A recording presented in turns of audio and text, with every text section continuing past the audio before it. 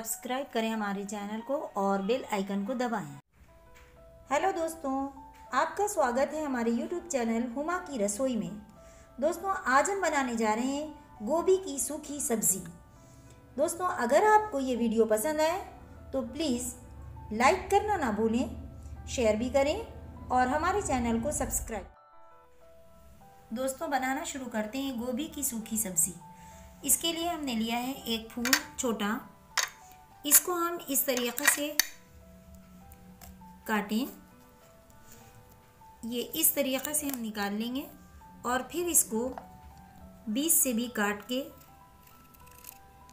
और अगर ये इसकी ऊपर की स्किन गंदी हो तो थोड़ा इसको साफ़ कर लेते हैं। दोस्तों, इस तरीक़े से हम अपनी पूरी गोभी को काट लेंगे और फिर एक बर्तन में गर्म पानी करेंगे और उसमें ये सारे फूलों को डाल देंगे। देखिए, हमने इन फूलों को गर्म पानी में डालकर और दो तीन उबाल देकर उसके बाद इसका पानी छानकर फूलों को निकाल लिया है। अब ये सब्ज़ी बनाने के लिए तैयार है। इसका एक फ़ायदा तो ये होता है कि इसकी स्मेल थोड़ी कम हो जाती है। जिन लोगों को गोभी की स्मेल पसंद नहीं, उन्हें भी ये सब्ज़ी ज़रूर पसंद आती है। सब्ज़ी पकाने के लिए हमें चाहिए चार चम्मच सरसों का तेल।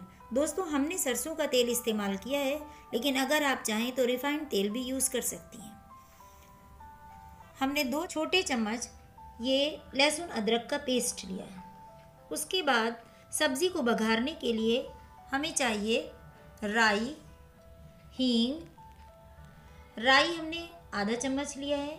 हींग तकरीबन दो चुटकी ली है और अजवाइन आधा चम्मच। और मिर्च, आधा चम्मच, हल्दी, आधा चम्मच। दोस्तों, काली मिर्च हम इसमें कुटी हुई डाल रहे हैं। ये हमने थोड़ी सी ली है। और गरम मसाला आधा चम्मच, एक चम्मच कसूरी मेथी और नमक स्वादानुसार। दोस्तों, चलिए हम बघारते हैं अपनी गोभी की सब्ज़ी। गार्निशिंग के लिए चाहिए धनिया पत्ती और हरी मिर्च। दोस्तों, एक पैन में हमने तेल गरम कर लिया है।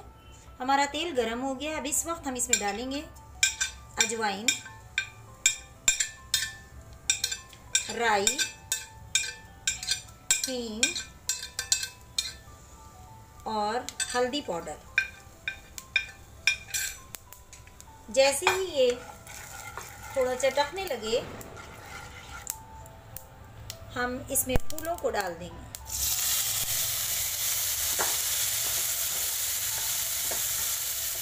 थोड़ी देर चलाकर अच्छी तरीके से तल लेंगे। फ्लेम को हाई रखेंगे।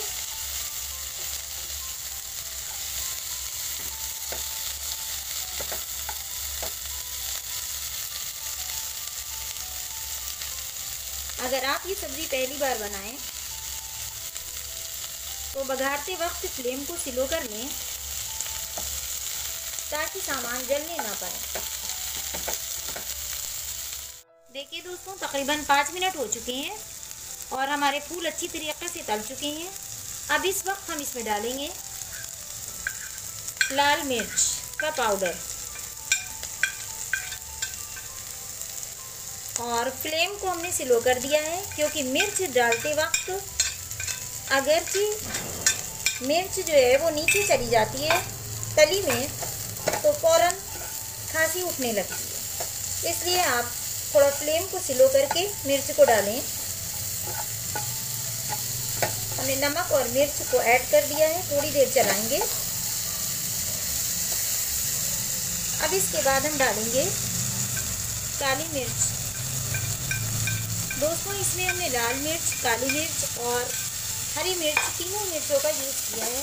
तो आप थोड़ा सा ख्याल रखें। ऐसा ना हो कि सब्ज़ी में मिर्च तेज़ हो जाए। अब देखिए, ये अच्छी तरीके से भुन रही है। थोड़ी देर तक स्लो फ्लेम पर ढक कर पका लें। देखिए, तकरीबन पाँच मिनट हो चुके हैं और सब्ज़ी ने तेल छोड़ना शुरू कर दिया है। अब इस वक्त हम सब्ज़ी को थोड़ा सा किनारे कर लें और जो हमने लहसुन और अदरक का पेस्ट तैयार किया था, हम उसको डालकर थोड़ी देर चला लें हमने इसको पहले इसलिए नहीं डाला था ताकि हमारे फूल अच्छी तरीक़े से तल जाएँ और उसमें नमक और मिर्च अच्छी तरीक़े से मिल जाए। अब इस तरीक़े से हमारा एक तरफ़ फूल भी पक रहे हैं और दूसरी तरफ़ मसाला भी भून रहा है। देखिए, लहसुन अदरक का पेस्ट हमारा भुन गया था और हमने इसको अच्छी तरीके से इसमें मिक्स कर दिया है। सब्ज़ी अभी गली नहीं है तो थोड़ी देर स्लो फ्लेम पर हम इसको ढककर पका लें देखिए, हमारी गोभी गल चुकी है और तकरीबन ये भून भी चुके हैं। और अब देखिए, हमारी सब्ज़ी तकरीबन तैयार है। हमें इस वक्त इसमें डालना है कसूरी मेथी। कसूरी मेथी से सब्ज़ी की स्मेल बहुत ही अच्छी आती है। कसूरी मेथी डालकर थोड़ा सा चलाएँ। बहुत ज़्यादा देर अब हमें नहीं पकाना है। और फिर अब ऊपर से डालेंगे गरम मसाला। तो देखिए हमारी सब्ज़ी अब तैयार है। गैस को ऑफ़ कर दें और एक सर्विंग प्लेट में निकाल कर इसे सर्व करें। दोस्तों, इसको टिफ़िन में भी दे सकते हैं और दाल वगैरह के साथ सूखी सब्ज़ी बहुत ही लजीज मालूम होती है। देखिए, हमने इसको एक सर्विंग प्लेट में निकाल लिया है और अब हम इसके ऊपर हरी मिर्च डालेंगे और धनिया पत्ती से गार्निश करेंगे। तो तैयार है हमारी गोभी की सूखी सब्ज़ी।